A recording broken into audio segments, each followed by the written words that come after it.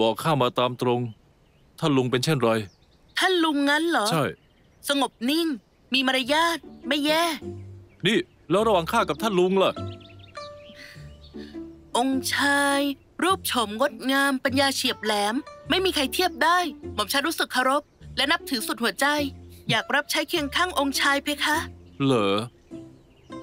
นับถือข้า ขนาดนั้นเลยเหรอ อยากอยู่รับใช้ข้างกายข้าตลอดไป เพคะ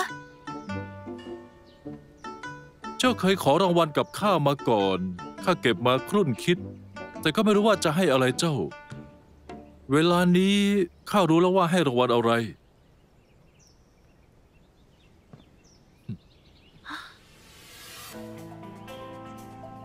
งั้นข้า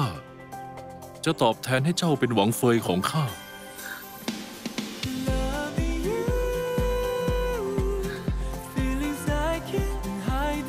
อยู่ข้างกายข้าตลอดไป ดูได้ที่โมโนแม็กซ์สุดยอดหนังดีซีรีส์ดัง ภาคไทยครบทุกเรื่อง